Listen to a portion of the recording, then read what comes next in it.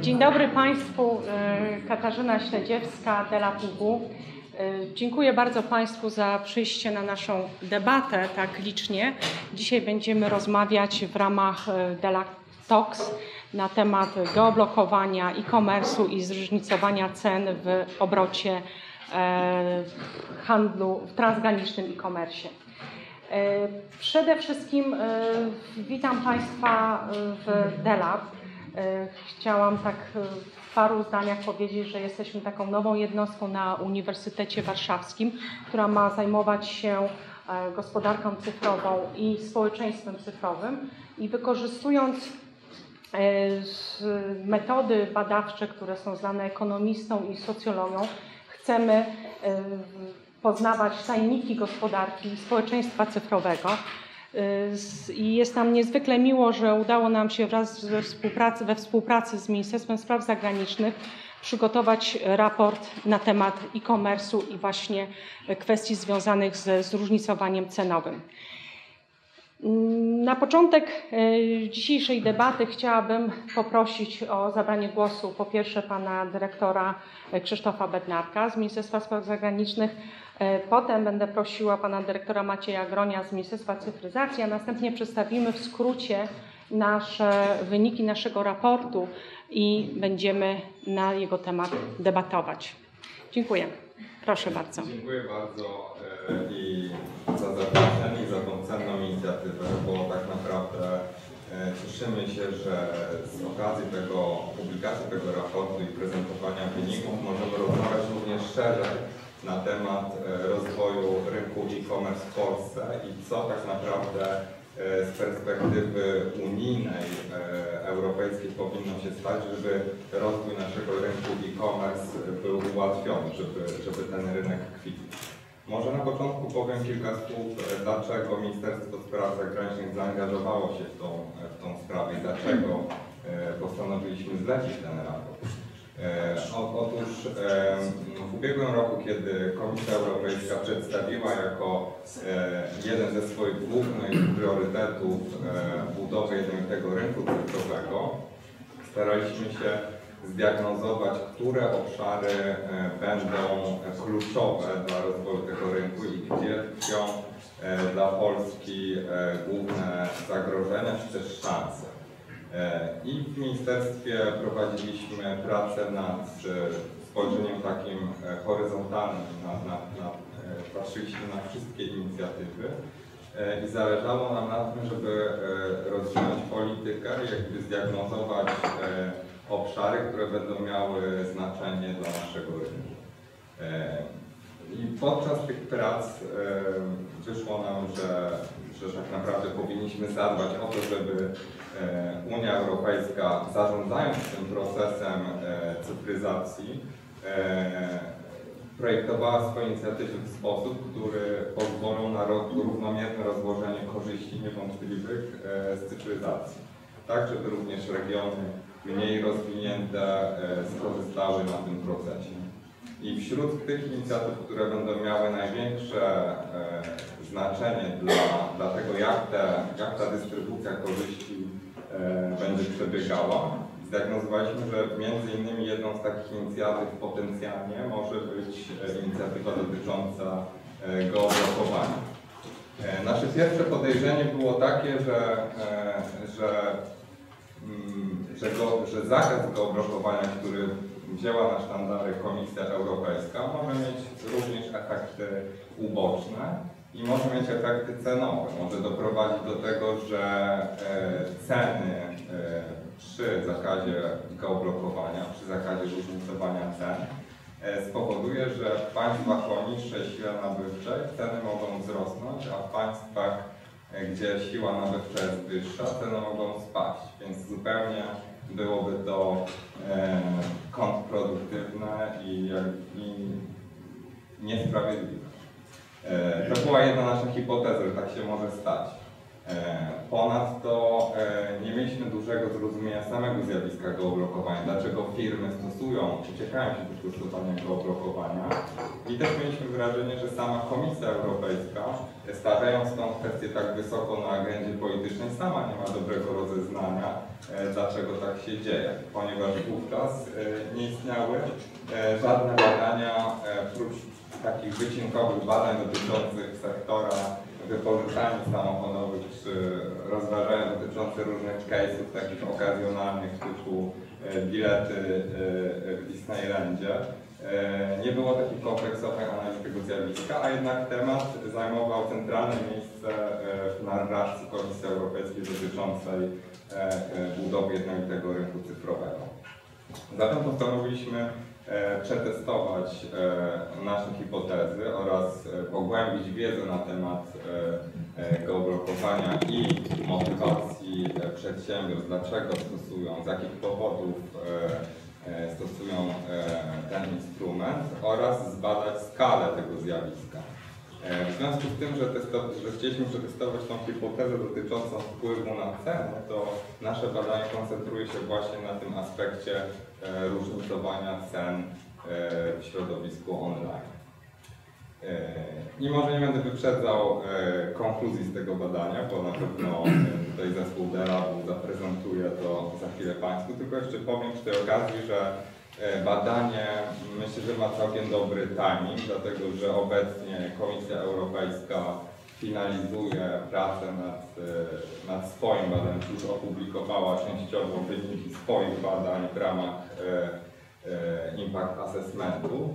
E, I e, też to nasze badanie, e, badanie Delabu, które zostało zlecone przez NSZ, stanowi dobre, dobre uzupełnienie tych badań komisji możemy wejść w taki realny dialog z Komisją Europejską i z instytucjami, wykorzystując to, że mamy twarde dane. Również to jest dobre z punktu widzenia przekonywania naszych partnerów do budowania e, stanowiska i do dyskusji z Komisją, jak te rozwiązania powinny e, wyglądać, ponieważ nasza argumentacja e, no, jest e, w tym momencie e, wzbogacona. E, Także badania Komisji Europejskiej e, wykazują, że geoblokowanie jest zjawiskiem e, bardzo rozpowszechnionym. E, No i oczywiście negatywnym, bo, e, bo zdaniem Komisji Europejskiej geoblokowanie stoi w sprzeczności z ideą takiego e, zjednoczonego, jednolitego rynku cyfrowego, który jest takim e, końcowym celem e, rozwoju tego rynku.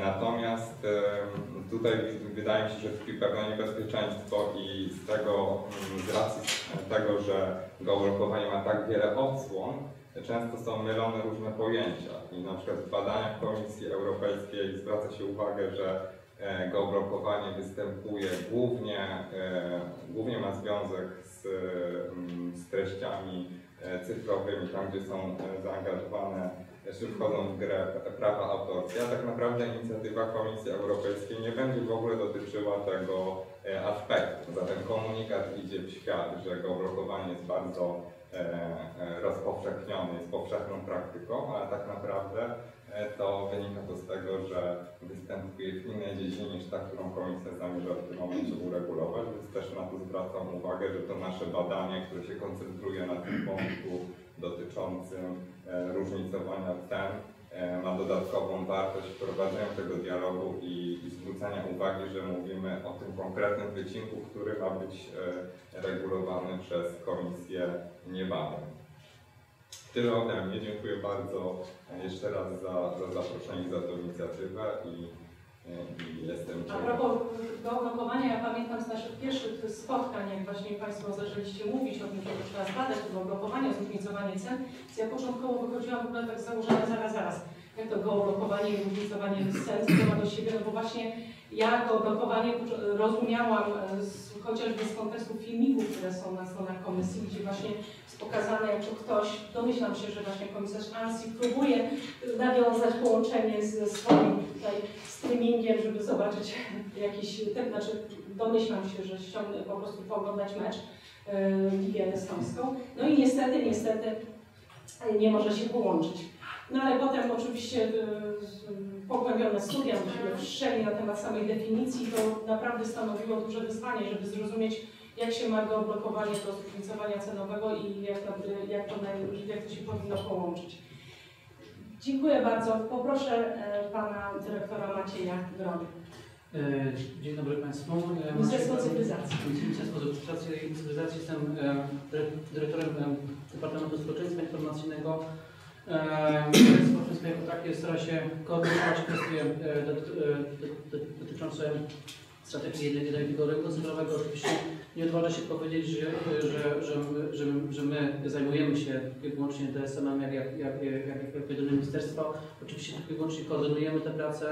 E, Strategia e, e, jednego rynku cyfrowego jest dużo bardziej skomplikowana, jest tam 16 różnych aktywności i oczywiście tylko część znajduje się w, w, w, kom- w kompetencji Ministerstwa Cyfryzacji. To są bardzo, bardzo aktywne wszystkie resorty. E, Przede wszystkim chciałem też e, podziękować tutaj za, za wykonanie tej analizy. Ona jest dla nas e, niezależnie od tego, co z niej wyjdzie, tak? co, co z niej wyszło, oczywiście już, już, już znamy. Ona jest bardzo cenna z tego powodu, że ona pokazuje takie dobre podejście do e, e, e, stanowienia prawa, do, do przygotowania różnych e, regulacji. Całkowicie czy, e, czym innym jest przygotowanie po prostu regulacji, że każdemu się wydaje, że e, to ma jakieś znaczenie, a czym innym jest to, jak, jak, jak ta, ta regulacja jest oparta na takich twardych, e, e, wyraźnych dowodach. E, Za każdym razem, jak, jak, jak wspominamy, bo tu już mieliśmy kilka takich możliwości, wspominamy o tej analizie. Jeszcze parę takich innych sytuacji było w przypadku stra- strategii DSM wykonanych dużo wcześniej, pewnych działań. Nie aż tak dokładnych analiz, ale, ale pewnych działań i, i konsultacji, które też tak naprawdę Polska to jako jeden z niewielu krajów tak, tak aktywnie do tego podchodzi, konsultując, już robiąc tą analizę, to jest naprawdę bardzo duża rzecz. I następne nasze aktywności są oparte na takich bardzo, bardzo twardych dowodach. Jeśli chodzi o st- strategię TSM, Ministerstwo Administracji już dobrze powiedziałem, Ministerstwo Administracji i Cyfryzacji, które miało wcześniej miejsce, w 2014 roku już przygotowało Państwa wcześniej, e, e, prowadziło bardzo aktywną rolę po to, żeby e, komisję przekonać do tego, do tych racji, które, które stoją za, za właśnie za, e, e, które, które, które Polska chciała prezentować. I teraz od samego początku prowadziliśmy taką e, narrację wolnościową, a więc uważaliśmy, że nie jesteśmy przeciwko żadnym regulacjom, ani dotyczącym platform, ani dotyczącym blokowania, ani niczego innego, pod warunkiem, że uznamy, że tego typu kwestie nie są regulowane w jakichś innych przepisach, tak, rozporządzenia czy, czy rangi dyrektywy. Dopiero wtedy, jeżeli dokładnie e, ustalimy, że e, to nie jest regulowane, albo to jest regulowane i to źle działa, to wtedy możemy mówić o tym, żeby, e, żeby przygotowywać jakąś nowelizację obecnych przepisów, albo po prostu przygotować jakieś nowe prawne. I taką narrację prowadzimy cały czas. Tak na, wydawało nam się, jeżeli chodzi o kwestie geoblokowania, które też są tutaj niesamowicie ciekawe, bo oczywiście potwierdzam to, to co Pani Profesor powiedziała, że na początku Pomógł nam na tym bardzo chyba pan komisarz Azji, że on o tych meczach swojej ligi e, ulubionej estońskiej, której nie mógł obejrzeć e, e, znając na świecie w, Brukseli, cały czas nas tak wprowadził taką, takie przeświadczenie, że to absolutnie chodzi tutaj głównie o, o prawa autorskie. O tym, żeby, żeby nie było tej, tej lokalizacji, żeby można było te same treści oglądać po wykupieniu oczywiście legalnego abonentu, można było oglądać w całej, w całej Unii Europejskiej. I później okazało się, to też w sumie było w jakiś sposób wiadomo, tylko że okazało się, że nie jest takie proste, że cały model e, e, biznesu, biznesowy e, dotyczący praw autorskich właśnie polega głównie na geolokalizacji. W związku z tym, czy, czy e, nie geolokalizacji, co e, e, geoblokowaniu. Na, na, na dzieleniu tych treści na odpowiednie, na odpowiednie terytoria, na sprzedawaniu tych, tych samych treści wiele razy.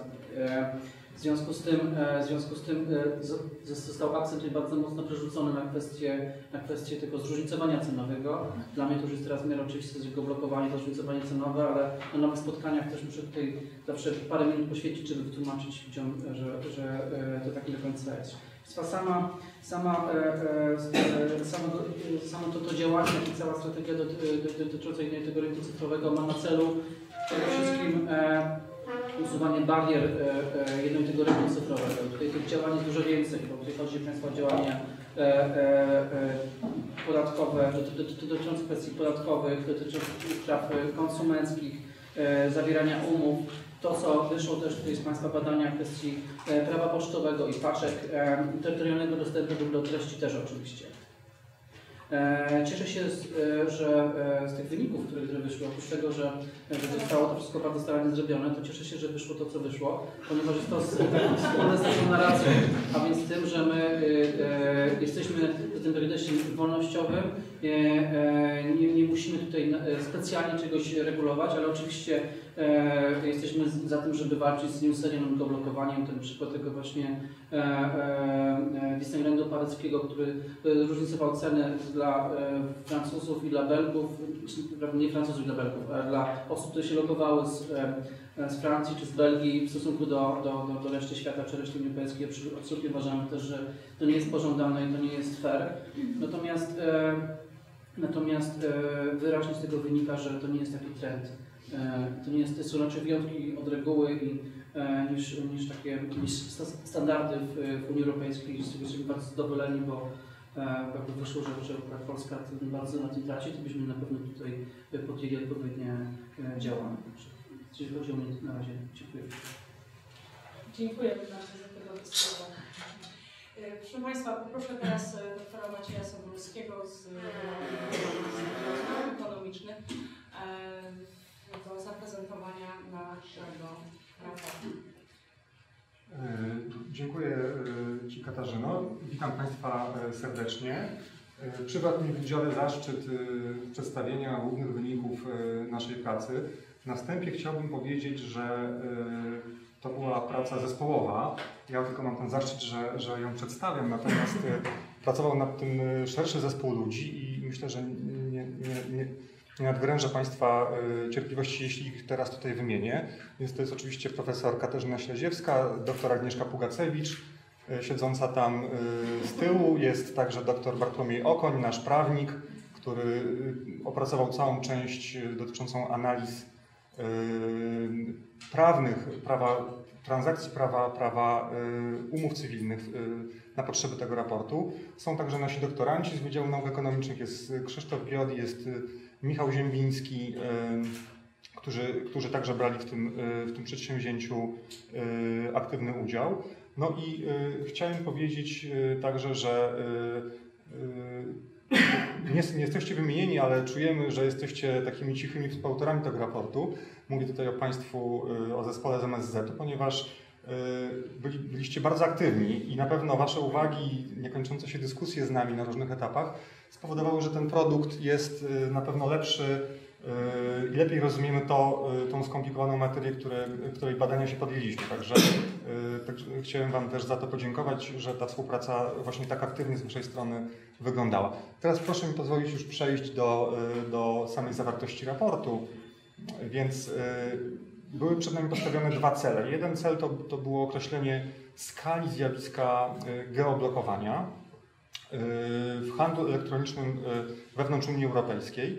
E, I e, od razu też zajęliśmy się drugim, e, drugim nurtem badań, czyli określeniem ogólnej skali zróżnicowania cenowego pomiędzy państwami członkowskimi Unii Europejskiej w kanale elektronicznym. Teraz dlaczego te dwa za- zagadnienia traktowaliśmy wspólnie? Otóż skala ogólnego zróżnicowania, którą my konsumenci obserwujemy jeżdżąc po Europie w tym sektorze offline'owym, on oczywiście też występuje w sektorze online'owym i od tego, jak duże są te różnice w cenach, no zależy w ogóle to, czy konsumenci będą mieli y, motywację do tego, żeby poszukiwać tańszych cen w innych krajach. Bo gdyby nie było różnicowania cen, to, to nie byłoby problemu. Tak? Natomiast geoblokowanie pojawia się y, jako z kolei zachęta sklepów, które mogą y, sprzedawać konsumentom z innych krajów, konsumentom o grubszych portfelach, po cenach innych niż sprzedają swoim konsumentom. Czyli traktujemy te dwa wątki jako, jako komplementarne i jeszcze raz powiem, że geoblokowanie to jest oczywiście strategia, pewna strategia sprzedażowa sklepów, ale ona może funkcjonować tylko i wyłącznie wtedy, kiedy w ogóle istnieje pole do arbitrażu cenowego, czyli istnieje obiektywne zróżnicowanie cen. E, Kilka słów o samej definicji. Geoblokowanie nie posiada żadnej oficjalnej definicji w dokumentach europejskich, więc my musieliśmy też wypracować tutaj wspólnie z naszymi, e, z naszymi partnerami z MSZ-u jakąś definicję na potrzeby tego raportu i w przeciwieństwie do tego, co teraz obserwujemy w, e, w komunikatach e, Komisji Europejskiej, nasza definicja jest definicją zawężającą. To znaczy, zgodnie z tym, co Państwo tutaj widzą, my traktujemy, że geoblokowanie to jest nieuzasadnione różnicowanie sytuacji nabywców w zależności od adresu IP, z którego wchodzą na daną stronę. Ten adres IP oczywiście pozwala na, na lokalizację, na, na, na określenie lokalizacji geograficznej kraju. I teraz są trzy główne przejawy tego geoblokowania w, kontekście tej naszej definicji, więc po pierwsze konsument może, jeżeli wejdzie z, z nieodpowiedniego adresu IP, może po prostu nie być obsłużony, czyli może być odmowa dostępu do, do strony. To jest najbardziej taki drastyczny, drastyczna forma. Często spotykamy się też z możliwością przekierowania, czyli logując się z Polski na stronę sklepu w Niemczech, automatycznie następuje przekierowanie na stronę sklepu w Polsce. No i wreszcie na, najbardziej subtelna forma, która nas bardzo interesowała, to jest to, kiedy y, nie ma przekierowania, ale konsument z innego kraju widzi nieco inne warunki, y, oferuje mu się nieco inne warunki zawarcia transakcji niż y, konsumentowi z, z, z kraju tego sklepu. Tak? Czyli mówimy tutaj przede wszystkim oczywiście o różnicy cenowej. I w tym kontekście geoblokowanie jest formą różnicowania cen pomiędzy konsumentami z różnych krajów kupujących w jednym sklepie. Na czym polegało nasze badanie, nasze podejście do badania geoblokowania? To jest taka mała grafika, która, która to obrazuje, mianowicie braliśmy pod lupę jakiś sklep w danym kraju i wchodziliśmy na ten, na ten sklep, próbując dokonać transakcji z kilku różnych adresów IP, które po, pozwalały nam ukryć naszą faktyczną lokalizację i schować się właśnie za, za adresem IP na przykład z, z Wielkiej Brytanii czy, czy yy, z Polski. W związku z tym yy, cały czas oczywiście byliśmy w Polsce, natomiast mogliśmy wykorzystując adresy IP łączyć się i być rozpoznawanymi jako konsumenci z, z innych krajów.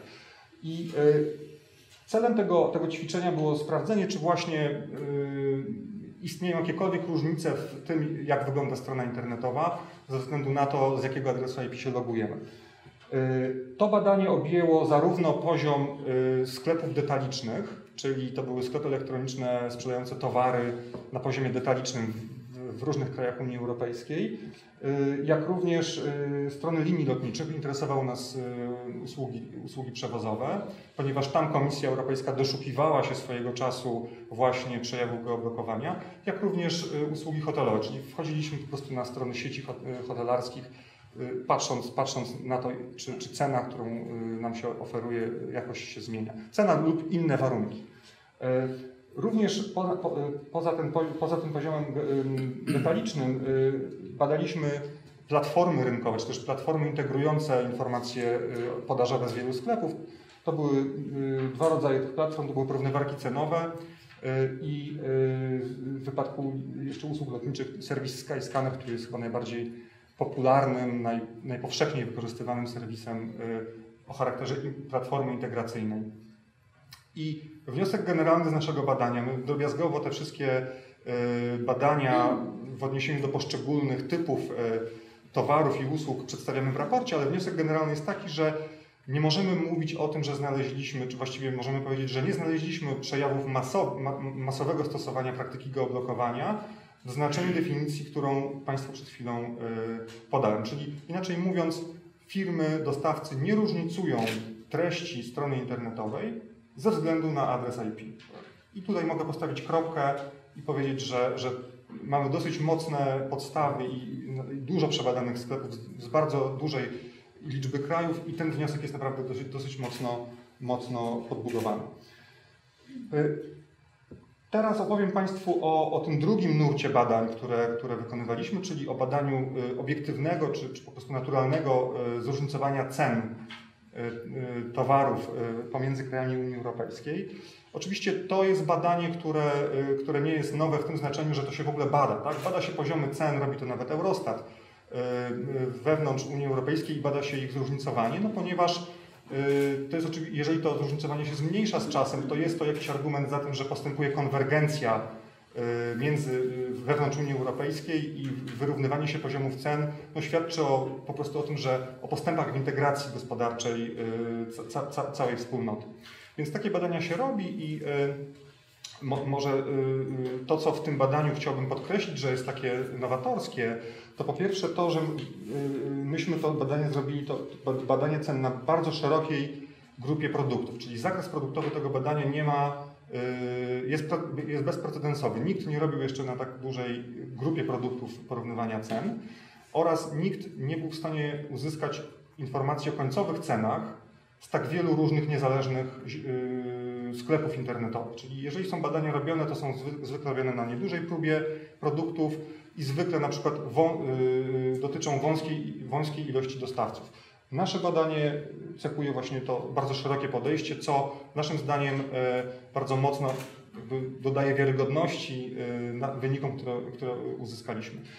E, co jeszcze mogę powiedzieć? Otóż w tym badaniu skoncentrowaliśmy się na odpytywaniu porównywarek cenowych, czyli pracowaliśmy y, z danymi uzyskiwanymi z porównywarek cenowych. Każdy kraj Unii ma swoją taką dominującą y, porównywarkę cenową. W Polsce było to Ceneo, ale w innych krajach to są zupełnie, zupełnie oczywiście inne serwisy, niezależne od siebie. Y, I myśmy wybrali grupę ponad 180 produktów, które reprezentują pięć najbardziej popularnych wśród nabywców, wśród konsumentów grup towarowych. To były ubrania, to były gry i oprogramowanie, kosmetyki, sprzęt gospodarstwa domowego i, y, y, i elektronika domowa, użytkowa.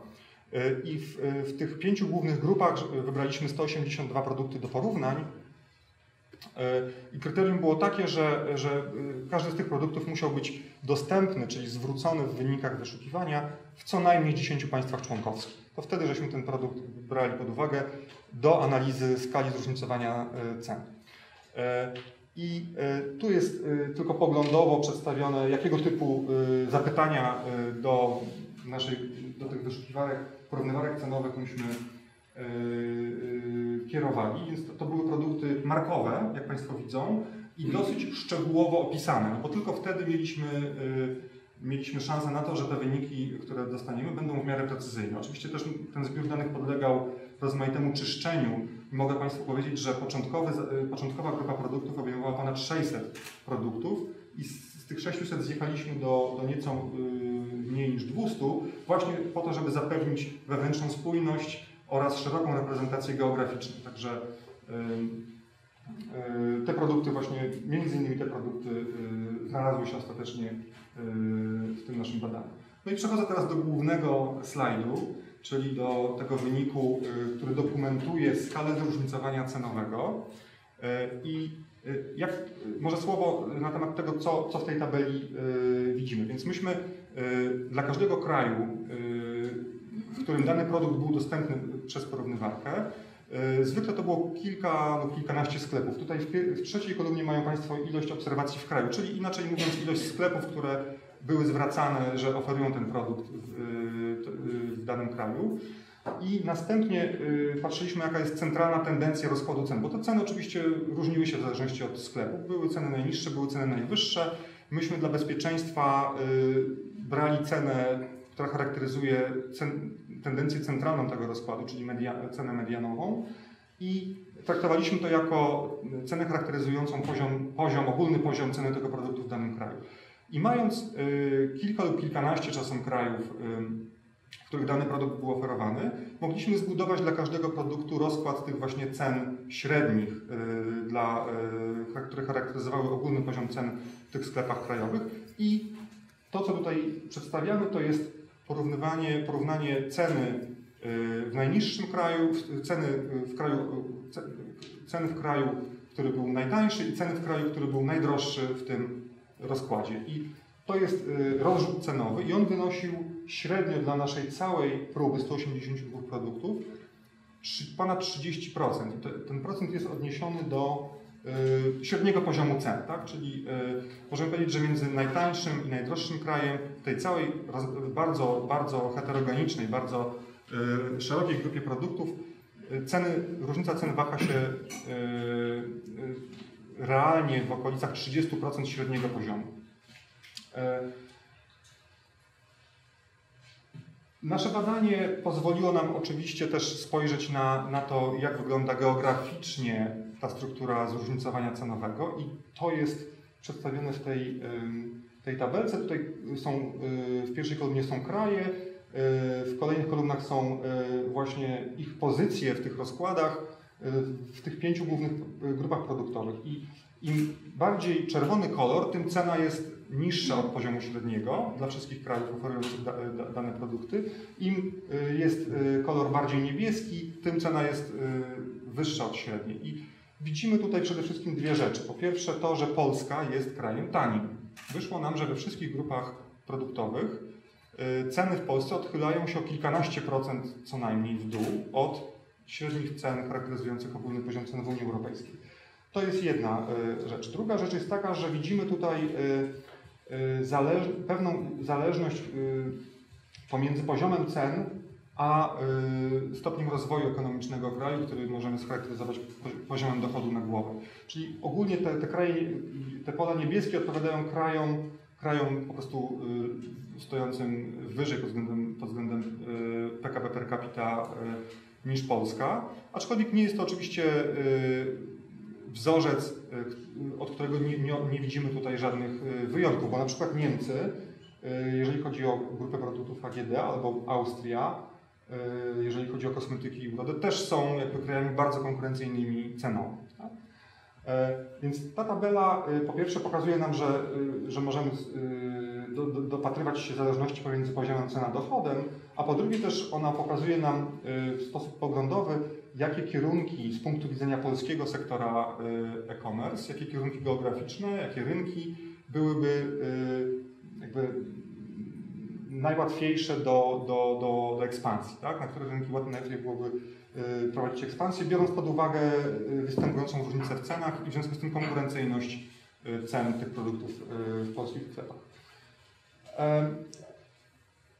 Mając już ten wynik, że obserwujemy duże zróżnicowanie cen, zadaliśmy sobie pytanie, co warunkuje te poziomy cen. I tutaj jest zestawienie, zestawienie czynników y, kosztowych, podatkowych oraz popytowych, które, y, które zwykle w, tak, w tego typu badaniach wymienia się jako czynniki determinujące poziomy cen. I i jak widzicie Państwo, y, tutaj są zarówno koszty pracy, są też koszty nośników energii, y, a także koszty kapitału. Y, Cały czas te, pod tymi wszystkimi, y, ze względu na te wszystkie czynniki kosztowe, Unia Europejska nie stanowi jednego organizmu. Znaczy jest istotne zróżnicowanie y, po stronie kosztowej właśnie tych y, czynników produkcji. I to jest na- naturalne wytłumaczenie, dlaczego to różnicowanie cenowe jest przenoszone potem na, y, na, na, poziom, na poziom detaliczny.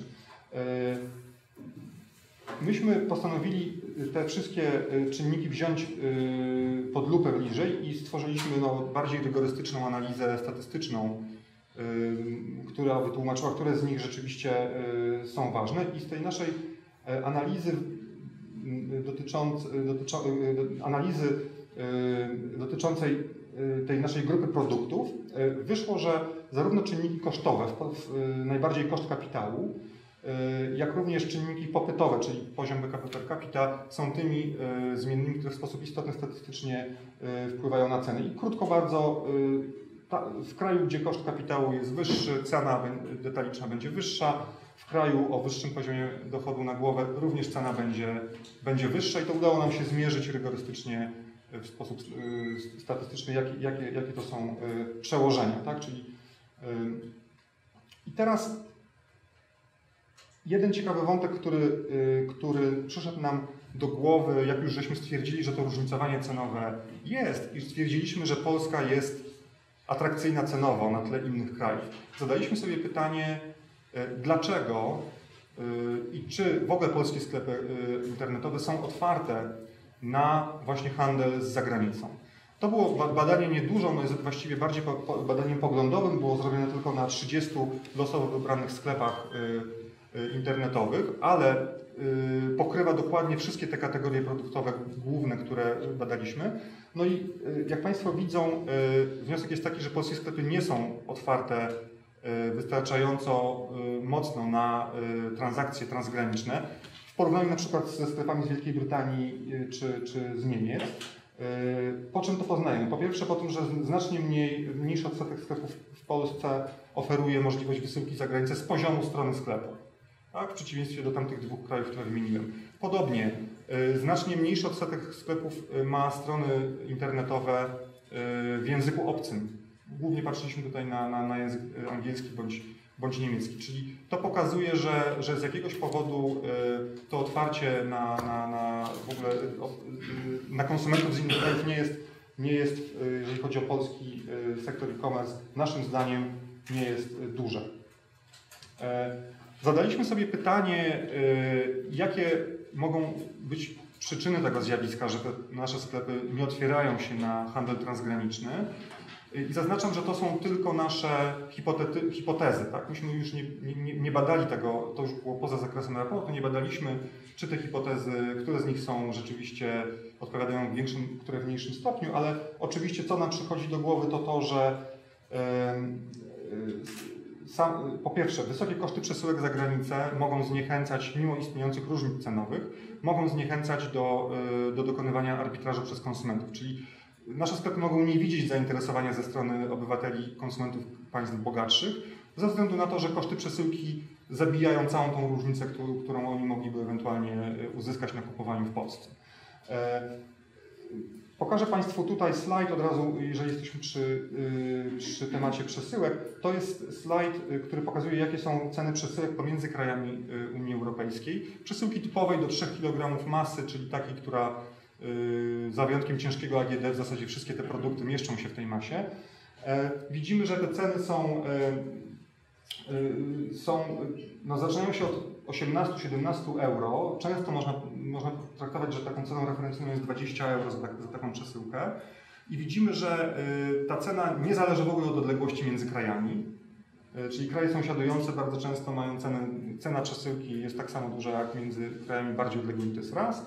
I dwa, y, jak sobie pomyślimy, że, że, że dystans z Gdańska do Krakowa jest taki sam jak z Warszawy do Berlina, to zaczniemy sobie zadawać pytanie, dlaczego przesyłka z Gdańska do Krakowa kosztuje czterokrotnie mniej niż z Warszawy do Berlina. Co jest w zasadzie tego przyczyną, tak? Bo te ceny, y, te ceny ewidentnie nie odzwierciedlają odległości, a odległość jest takim naturalnym wskaźnikiem kosztów, tak? Czyli one nie są powiązane z kosztami świadczenia y, tej usługi.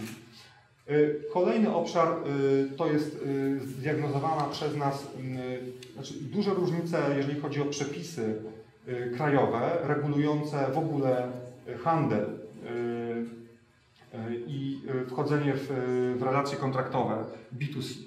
Y, Tutaj y, wchodzi w grę y, materia prawna, ale ta materia prawna i te różnice, które ewidentnie pokazujemy w raporcie, że są, na przykład jeżeli chodzi o poziom ochrony y, konsumentów w różnych krajach, albo jeżeli chodzi o zakres odpowiedzialności sprzedawcy, y, to te czynniki prawne, one oczywiście y, mają swoją, swoją, swoje implikacje ekonomiczne, czyli jeżeli sklep chciałby, chciałby y, sprzedawać y, polski sklep do, do, do Skandynawii albo do Wielkiej Brytanii, y, do krajów skandynawskich, do Wielkiej Brytanii, gdzie te różnice w cenach są najbardziej y, korzystne z punktu widzenia naszych, y, y, y, naszych sklepów, to oczywiście są niebagatelne koszty y, i także ryzyko biznesowe związane z, taki, z tego typu transakcjami. Czyli to nie jest taka sama transakcja jak transakcja krajowa. I wreszcie trzeci, y, trzeci y, typ, czy trzecia hipoteza to jest hipoteza taka, że, że nasze sklepy nie oferują transakcji transgranicznych, dlatego że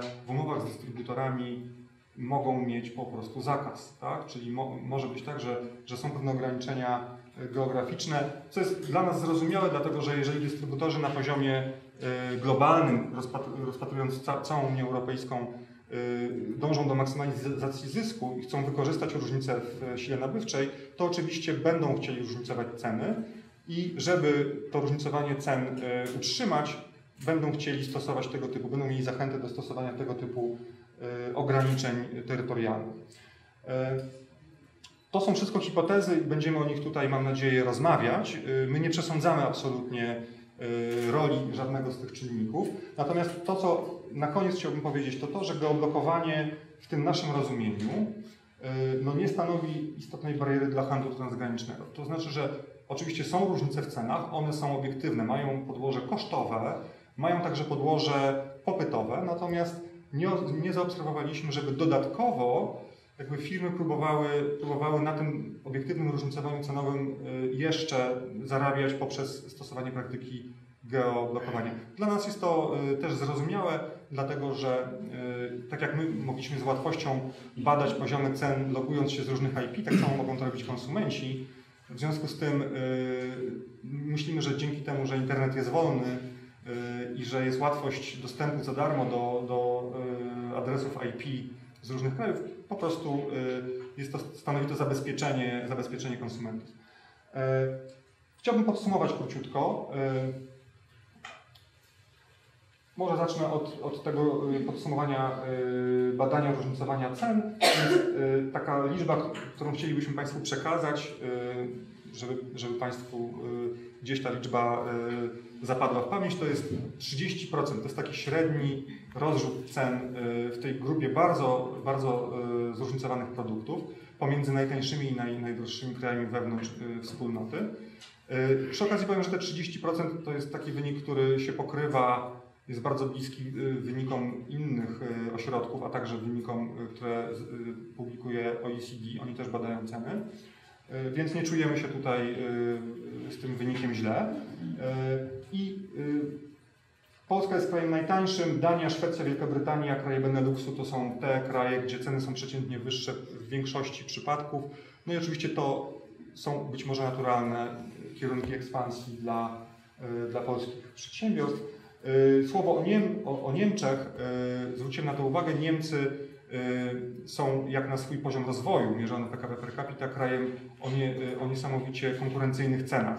Czyli relatywnie do swojego PKB Niemcy y, są bardzo konkurencyjni cenowo i y, jakby wejście na rynek niemiecki, mimo że to jest nasz sąsiad, y, byłoby bardzo trudne. To znaczy y, koszty przesyłek musiałyby praktycznie spaść do poziomu krajowego, żeby w ogóle oferta polskich sklepów mogła być w tych gru wybranych grupach produktowych em, konkurencyjna.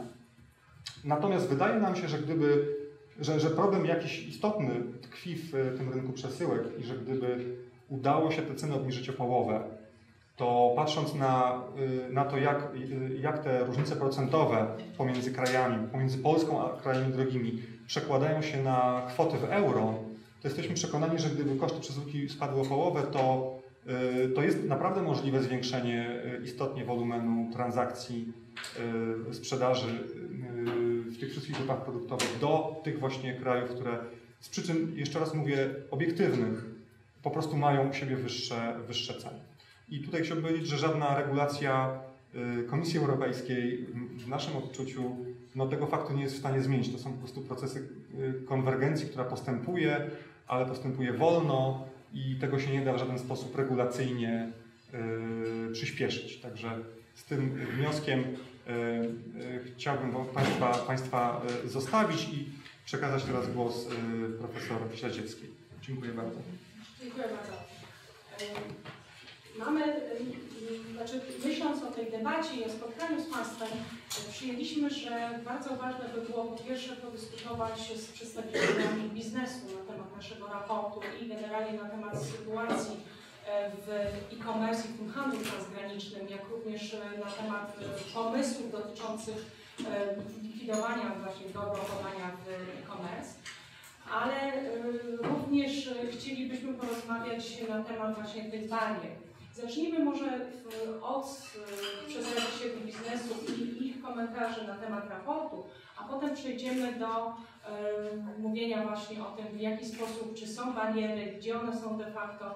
I, z, więc zapraszam na początek y, Grzegorza Wójcika z Izby Gospodarki Elektronicznej e-commerce Polska, a następnie będę prosiła o głos pana prezesa Wł- Włodzimierza Szmita z Związku Pracodawców Branży Internetowej AID Polska.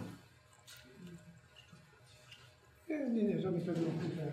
Dziękuję serdecznie. Witam serdecznie wszystkich. Muszę powiedzieć, że to jest drugi raz w tym roku, kiedy widzę raport, który naprawdę robi na mnie wrażenie. E, I to jest drugi raport z Polski. A czytam dużo raportów. E, Pierwszym raportem, żeby też nie było żadnych wątpliwości, jest raport Centrum Cyfrowe e, wspólnie z Google na temat kompetencji polskich małych i średnich przedsiębiorstw. Warto obydwa raporty naprawdę przeczytać, bo pod kątem jakości są faktycznie wybitne. Dwie rzeczy, które chciałbym powiedzieć na samym początku, na wstępie. Faktycznie ja sporo czasu również spędzam w Brukseli na różnych spotkaniach, więc dokładnie ten element, o którym tutaj była mowa, e, dotyczącym tego, że nie można było oglądać sobie z portalu informacyjnego newsów, bo wyskakiwało jesteś, jesteś poza granicami kraju, był tym wiodącym tematem, skąd się w ogóle pojawiło słowo geoblokowanie. I mój od razu apel do wszystkich tutaj jest taki, błagam, zróbmy coś razem, żeby to słowo wykreślić w ogóle z słownika. Dlatego, że ono jest obrzydliwe, bo spowodowało dokładnie to, z czym tutaj widzimy e, na podstawie tego raportu. Jest wielki temat geoblokowanie, po czym zostając wprowadzony do agendy cyfrowej k- jest stwierdzone, że no głównie chodzi o treści cyfrowe, po czym pierwszy raport e, mówi wprost, no przecież prawa autorskie od zawsze były terytorialne, w związku z tym musimy coś z tym zrobić, w związku z tym no to złóżmy to na geoblokowanie w handlu elektronicznym, sprzedaż towarów, tak? Czyli i usług. No i jakby wychodzi kolejny raport i widzimy co, co, o co chodzi. Minęło praktycznie 12 miesięcy, żeby się dowiedzieć czegoś, co jest oczywiste. Że różnicowanie cenowe jest, było i będzie, jest w świecie rzeczywistym, w świecie realnej gospodarki. Może faktycznie jest bardziej widoczne w internecie, dlatego że jest większa przejrzystość co do tego, kiedy i jaki mamy dostęp do informacji. A teraz po tym krótkim wstępie chciałbym chyba e, skomentować dwie podstawowe rzeczy.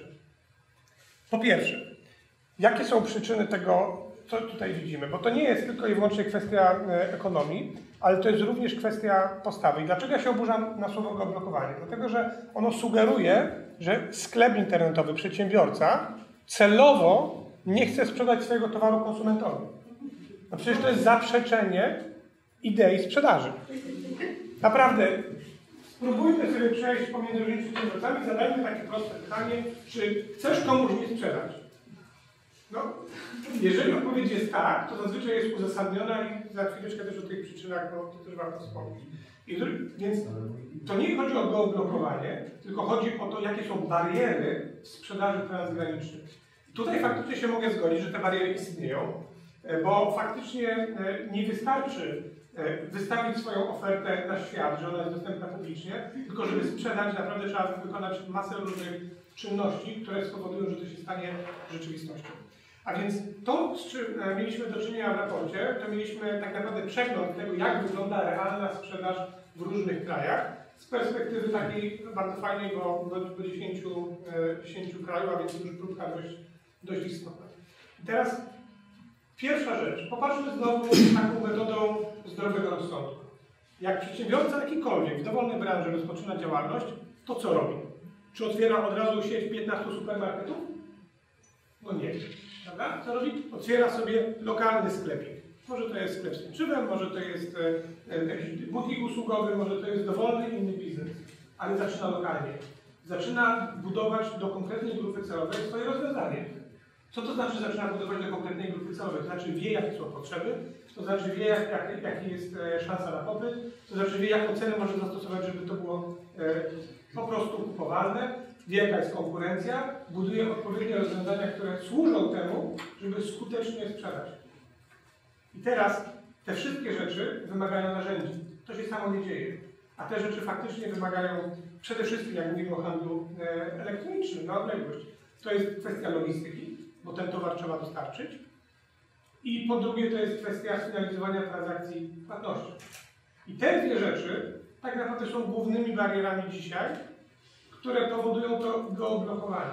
Bo to nie jest naturalne nieudostępnianie swojej oferty, tylko to jest po prostu fakt, że na początku, jak powstał dany sklep, to on był adresowany do konkretnej grupy. Popatrzmy na polski podmiot, przeciętny polski sklep. Co ma zrobione? Ma wdrożony jednego z trzech agregatorów płatności, i tak agregatorów, a nie bezpośrednią metodę z jednego konkretnego banku, prawda? Trzech agregatorów płatności jest na rynku, powiedzmy takich silnych, jeszcze jest kilkanaście innych mniejszych, ale de facto dają to iluś, ale lokalnych metod płatności. Czy te metody płatności są e, ulubione przez Niemców, Francuzów, Hiszpanów, Włochów? Oni o nich nawet nie wiedzą. Oni się nie są w stanie zalogować przez polski bank. W jednych krajach karta płatnicza jest popularna, w drugich nie jest. Nie wszystkie karty płatnicze są akceptowane przez wszystkie systemy. Więc to jest realna bariera, ale znowu ona nie wynika z tego, jak jest pisane w tych raportach i tezach komisji, że ktoś chciał zablokować komuś płatność, tylko to jest efekt po prostu dostosowania do lokalnych potrzeb. Drugi temat to jest logistyka i tutaj faktycznie e, po raz pierwszy pojawia się e, kwestia kosztów.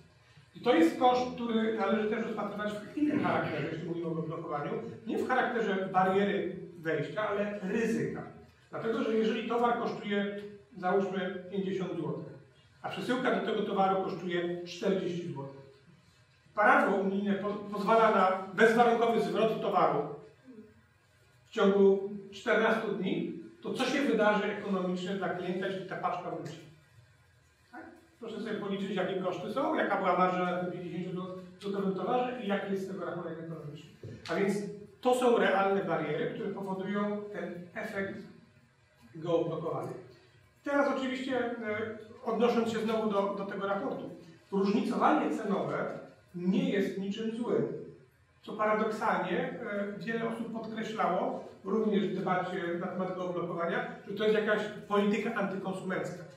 Nie, różnicowanie cenowe jest niczym innym, jak odzwierciedleniem dwóch podstawowych czynności. Po pierwsze, analizy konkurencji na rynku. Oczywiście, bo chcemy maksymalizować swój zysk, ale mamy pewien sufit, który wynika po prostu z konkurencji rynku i tego, jak maksymalnie wysoką cenę możemy dać, aby klient jednak chciał to jeszcze kupić. A więc też mocno zależy od tego, na ile towar jest, czy usługa unikalna. Prawda?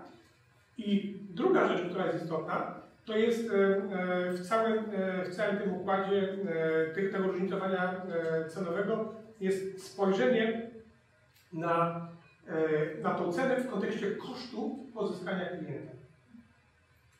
To jest nierozłączny element różnicowania cenowego. Jeżeli marketing do polskiej firmy kosztuje mnie w polskich stawkach za reklamę X, to marketing do takiego samego jednego obywatela w Wielkiej Brytanii kosztuje mnie ile?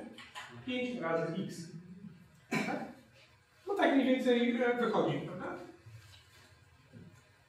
Może to być więcej, może mniej, zależy też od skali, ale to powoduje, że cena naturalnie kierowana na inny rynek, wynikająca z kosztu pozyskania klienta, musi być inna. Nie da się tego zrobić inaczej. Oczywiście jest jeszcze kwestia składnika kosztowego, jakim był koszt bazowej usługi towaru, prawda? I ona może być różnicowana, ale nawet jeśli tu widzimy, że ona się różni o te 30%, to te 30% w kontekście kosztu pozyskania klienta wcale niekoniecznie musi być aż tak znaczącą różnicą. Bo tego tutaj w tym raporcie nie widać. Tak? Może się okazać e, bardzo prosto, że efektywność marketingowa dotarcia do jednego klienta będzie na jednym rynku 5 razy lepsza niż na drugim. Bo to zależy na przykład od tego, czy dany towar jest nowością i się pasował rynek, czy nie. Tak? Więc proszę zwrócić uwagę na te rzeczy e, bardzo uważnie, czytając te liczby z raportu, bo one pokazują faktyczny stan odnośnie tego, co jest efektem rynkowym, a niekoniecznie przyczyną, która spowodowała, e, spowodowała taki stan. Bo oczywiste przyczyny ekonomiczne są, prawda? Dlaczego chleb kosztuje w Polsce 1 zł, a w Brukseli 1 euro, prawda? I to jest 4 razy więcej. No ale z drugiej strony, dlaczego e, telewizor kosztuje tyle samo? Prawda? Na to nie jesteśmy w stanie poradzić. I teraz jakby już podsumowując ten mój krótki wstęp, jeśli chodzi o tę perspektywę biznesu, to chciałbym właśnie zwrócić na to uwagę, żebyśmy potrafili się w tej całej dyskusji na temat legislacji przez chwilę zastanowić, co jest realnym powodem, jak się patrzy z perspektywy przedsiębiorcy. Bo przedsiębiorcy chcieliby eksportować. Przedsiębiorcy chcieliby więcej zarabiać, ale nie mają możliwości technicznych. To wynika z naturalnych barier, które sobie, nawiasem mówiąc, sami stworzyli. Więc jeśli mogę też jeszcze jedną e, uwagę dołożyć na sam koniec, w kontekście bardzo świetnego podsumowania, że Polska jest najtańszym krajem ze wszystkich. To jest najlepsza możliwa wiadomość dla polskich przedsiębiorców i ona powinna być naprawdę bardzo głośno powiedziana. Bo co to oznacza? To znaczy, że jeżeli dobrze odrobimy lekcję, możemy być najlepiej eksportującym krajem z Unii Europejskiej. To oznacza, że jeżeli bariery są na poziomie infrastrukturalnym oraz mentalnym, wynikającym z tego, że trzeba pewną kwestię przekroczyć, to wystarczy odpowiednia polityka dofinansowania elementów zbudowania kompleksowej oferty płatnościowej i logistycznej, która się rewelacyjnie zwróci w wyniku sprzedaży na eksport. Dziękuję serdecznie. Otwieram dyskusję na moje spojrzenie. Jeszcze nie, jeszcze nie. Na moje spojrzenie. Dziękuję bardzo. Ale też jest zgadza, że jeżeli chodzi o możliwości eksportowe Polski, to niewątpliwie są wielkie. W szczególności jeżeli chodzi o produkty oczywiście produkowane u nas w kraju, prawda? No bo o to, o to pewnie byśmy chcieli jak najwięcej tego sprzedawać. Dziękuję. Ja kontynuując tą dyskusję, rozpocznę tutaj, gdzie Grzegorz skończył może, ale najpierw rzeczywiście bardzo gratuluję tego raportu, bo on jest bardzo ciekawy, bardzo dobry. On przede wszystkim rozwiewa wiele mitów, dlatego że wokół geoblokowania, wokół tych barier, wokół tego, jak postępują przedsiębiorcy, jakie patologie się zdarzają, bo to, o czym mówił Pan Dyrektor w przypadku Disneyland Paris, my to bardziej zaliczamy do pewnych patologii, które się zdarzają, natomiast nie można tworzyć prawa tylko po to, żeby zwalczyć jakieś marginalne patologie, bo my mamy do czynienia z tego typu zjawiskiem. E, W związku z tym bardzo się cieszymy, bo ten raport rzeczywiście on rozwiera, rozwiewa wiele takich mitów i on pokazuje, gdzie potencjalne problemy są, ale również gdzie tkwią pewne szanse. I tym zakończył Grzegorz i ja bym chciał od tego momentu zacząć, dlatego że każdy medal ma zawsze dwie strony. My mówimy o całej tej prawie że aferze już z geoblokowaniem, jako o czymś, co jest wielkim problemem, co rzeczywiście stworzyło gigantyczne dyskusje, a tak naprawdę to wszystko pokazuje, że w tym tkwi jakaś szansa właśnie dla polskiego biznesu, dla polskich przedsiębiorców, dla polskiego eksportu. E, I my dokładnie to samo analizując ten raport zauważyliśmy, o czym Grzegorz powiedział i tutaj na tym należałoby się skupić, w jaki sposób po pierwsze uświadomić polskim przedsiębiorcom, że mamy taką szansę, że na tle Europy tak dobrze wyglądamy i jakie są bariery i jak pomóc im te bariery przezwyciężyć, jak je rzeczywiście efektywnie znieść, żebyśmy mogli zacząć eksportować. Dlatego, że wracając teraz do tej kwestii geoblokowania, my też nienawidzimy tego stwierdzenia, bo ono jest rzeczywiście w odniesieniu do przedsiębiorców bardzo złe, bo ono sugeruje, że przedsiębiorstwa robi coś źle, coś przeciwko sobie, to kompletnie nielogiczne jest. Ja bym bardziej nazwał to geopromowaniem, dlatego że te działania, które są postrzegane, czy zostały odebrane przez komisję jako coś złego, są tak naprawdę częścią naturalnych zupełnie działań marketingowych wszystkich przedsiębiorców. Od zawsze, odkąd istnieje marketing, znamy takie pojęcie jak marketing mix. I w tym marketingu mix są cztery podstawowe elementy. Cena jest jednym z tych elementów. I ta cena, promocje cenowe, różnicowanie cenowe, również strategie cenowe, niekoniecznie budowane od dołu, od strony kosztowej, ale budowane właśnie od strony rynkowej, od góry, jest jednym z podstawowych elementów, którym się wszyscy przedsiębiorcy mniej lub bardziej świadomie posługują. I jeżeli my mówimy o tym, że Disneyland Paris jednej grupie odbiorców oferował bilety drożej, a innej taniej, to nie chodziło o to, że oni komuś podnieśli, żeby im zablokować albo żeby na nich więcej zarobić. Tam najprawdopodobniej chodziło, bo tak działają przedsiębiorcy, o drugą stronę. Oni obniżyli komuś, bo chcieli ich zachęcić, żeby do siebie, żeby do nich przyjechali. Bo to tak działa. Ja sam pracowałem w marketingu i w sprzedaży przez bardzo, bardzo wiele lat. Budowałem nie jedną strategię marketingu, nie jedną strategię cenową i je wdrażałem. I to jest, to jest myślenie przedsiębiorców. Nie żeby coś zablokować, nie żeby gdzieś podnieść ceny na czymś zarobić więcej, tylko w jaki sposób zdobyć nowych klientów, nowych odbiorców, w jaki sposób wejść na nowe rynki. W związku z tym my dużo bardziej wolimy stwierdzenie geopromowanie i być może jak mówimy o zachowaniach przedsiębiorców do tej całej sytuacji, e, powinniśmy bardziej mówić o geopromowaniu i w jaki sposób my możemy pomóc znieść bariery i wypromować geopromowanie, tak żebyśmy rzeczywiście jako kraj, jako polscy przedsiębiorcy mogli bardziej wyjść na te rynki unijne, bo to jest rzeczywiście dla nas bardzo duża szansa. Tu się pojawił jeden wątek też tych treści cyfrowych, czyli właściwie to, od czego się zaczęło całe zamieszanie. I całe szczęście, że komisja te dwie rzeczy rozdzieliła, bo je należy rozdzielić, bo to są zupełnie dwie różne rzeczy. One są tylko częściowo do siebie podobne, natomiast różnice i specyfika tych dwóch rzeczy, czyli takiego tradycyjnego, nazwijmy to handlu i kwestii treści cyfrowych, które działają w oparciu o licencje, są zupełnie inne rzeczy. W przypadku treści cyfrowych, bo o tym w raporcie jest troszkę mowa, ja może na ten temat dwa słowa powiem. My tam mówimy o modelu licencyjnym. Modelu, który ma kilkadziesiąt lat. Bardzo starym modelu. Modelu, który był przygotowywanym, stworzonym w czasach, kiedy internetu jeszcze nie było.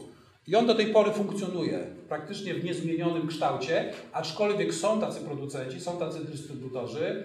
Nie chcę tutaj do reklamy nikomu robić, to może nie będę nazywał po imieniu tych firm na N, które próbują to inaczej zupełnie zbudować, próbują to zupełnie w innym modelu prowadzić, co też wcale nie jest takie proste. I tutaj też jest bardzo trudna kwestia do rozwiązania, dlatego że mówiąc o tym, jak polscy przedsiębiorcy, którzy dostarczają takie treści cyfrowe, mogliby wyjść na rynek europejski, musimy pamiętać, że oni muszą zapłacić tę licencję. Czyli jeżeli my mówimy o 30 kilka rynka, 30 kilku rynkach europejskich i oni mieliby dostarczać w oparciu o ten model licencyjny te treści na tych iluś rynkach, to musieliby kupić 30 kilka licencji. To jest ekonomicznie zupełnie nieopłacalne, nie ma sensu. W związku z tym rozwiązania regulacyjne skierowane do tychże przedsiębiorców, do takich dystrybutorów, tak, do, do tych platform, one kompletnie nie zdają egzaminu, wręcz przeciwnie. One tak naprawdę spowodują, że te platformy, zwłaszcza lokalne, takie, które działają dzisiaj na pojedynczych rynkach jak Polska, kompletnie znikną. To są i tak biznesy jeszcze raczkujące, biznesy, które bardzo często nie są rentowne, na poziomie operacyjnym są rentowne. Natomiast mają tak duże koszty kapitału i tak duże koszty inwestycji, które ponieśli, że oni ciągle jeszcze nie wyszli na zero. Oni ciągle nie zarabiają jeszcze tak naprawdę pieniędzy. Cały czas inwestują, inwestują cały czas w ofertę programową, inwestują w różne rozwiązania technologiczne, inwestują w działania marketingowe po to, żeby pozyskać nowych klientów. A zmagają się w tym całym czasie z dostawcami nazwijmy to potocznie pirackimi, czyli z serwisami, które pozyskują te treści nie płacąc tych opłat licencyjnych, tylko pozyskują je w sposób niezgodny z obowiązującym prawem, czy z dużymi globalnymi graczami, którzy też bardzo często na innych zasadach, ze względu chociażby na skalę swojej działalności, dogadują się z producentami, trochę na innych zasadach te licencje pozyskują. I my pamiętajmy o tym, że teraz nagle zrównując to odgórnie na poziomie Unii Europejskiej, znosząc pewnego rodzaju bariery i zmuszając takich lokalnych dostawców do tego, żeby musieli oferować swoją ofertę programową na wszystkich rynkach, możemy doprowadzić do tego, że wielu z nich po prostu zniknie. Dlatego temat jest bardzo trudny. Ja nie mówię o tym, że tego nie należy robić, dlatego że z punktu widzenia nas, konsumentów, odbiorców, to jest oczywiście pożądany model. No tak byśmy chcieli, żeby było. Ale temat jest tak złożony i tak trudny, że trzeba się temu osobno przyjrzeć. I dlatego dobrze, że komisja te dwie rzeczy rozdzieliła i mówiąc o geopromowaniu, mówi o dwóch różnych rzeczach i tutaj bardziej się skupia właśnie na tym, w jaki sposób znieść bariery. Ja też proponuję, żebyśmy właśnie na tym się skupili, jakie to są bariery i w jaki sposób my z naszego lokalnego, trochę polskiego podwórka możemy doprowadzić do tego, żeby te bariery zostały zniesione, żeby polscy przedsiębiorcy rzeczywiście mogli wyjść, mogli zaistnieć na rynkach europejskich. Dziękuję bardzo. bardzo